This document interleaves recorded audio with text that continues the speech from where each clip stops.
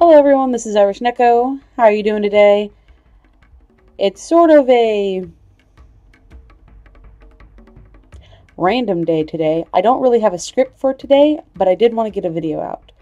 So, hi.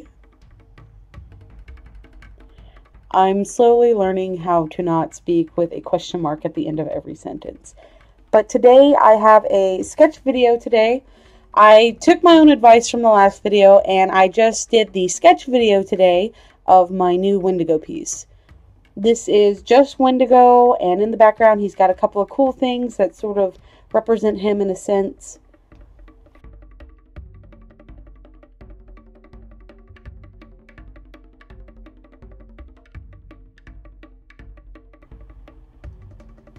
And the reason I'm doing this is so the video won't be so fast that it will make people's heads hurt. I haven't gotten any complaints or anything, but I know that when I watch videos that are really fast, it really it goes so fast that my head hurts and I can't watch it, which sucks. So this one's a little bit slower, a little bit shorter.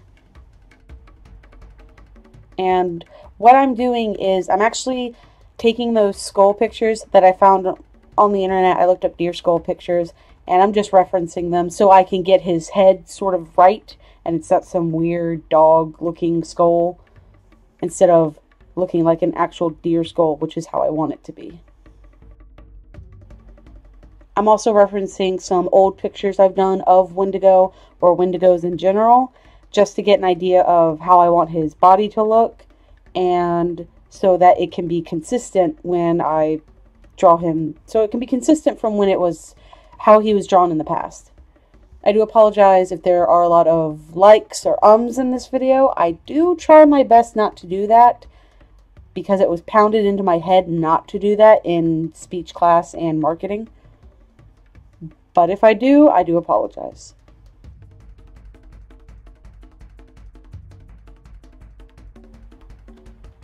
So Wendigo is my character from my Witch in the Wendigo series.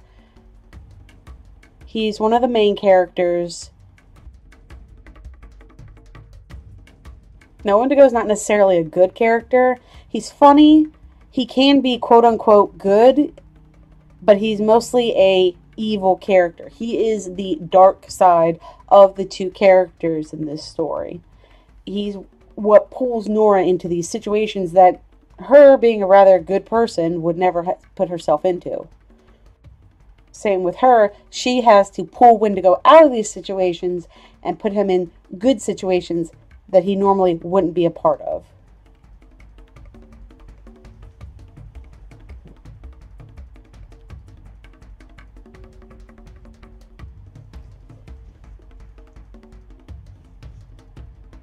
Some of my next videos will probably be inking and coloring of this piece. I also am still working on the tutorial.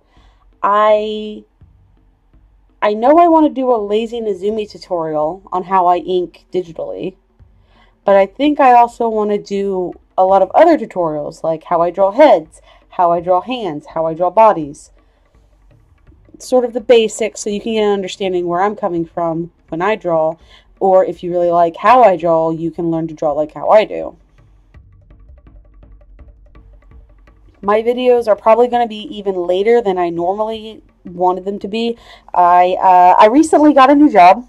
I got a job with a craft store, which I am flipping tables. I'm so excited about. And I'm not going to name it just in case. Don't want anyone coming after me. But I got a job with a really well known craft store it's been amazing so far. I love just being in there.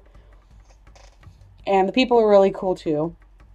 But I will be working like 25, 35 hours there. Plus, I still have a day that I work at my old job at the uh, food place. Just because I need a little bit of extra money. Christmas is coming up, Yule is coming up and I need extra money because my birthday is coming up. It's not until January, but I need to save up because I'm going to be taking myself and possibly uh, taking my friend, my dearest friend Katrina, with me to go to Iceland. So I need to save up a lot of money for that. And uh, normally I would be doing commission work, but I haven't gotten any commissions lately. So I actually need to go actually do a, you know, hourly job.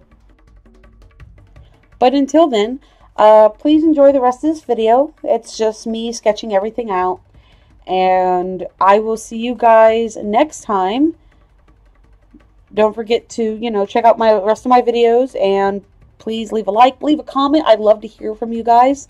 I'd love to hear any suggestions you have, any ideas you have. And um, yeah, thanks so much. Have a good one, guys. See you later. Bye.